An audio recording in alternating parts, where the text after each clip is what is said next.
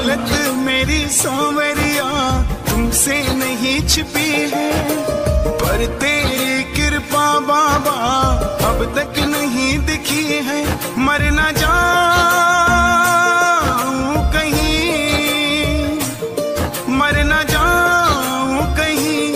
कर दे सब कुछ सही। नज़र के सामने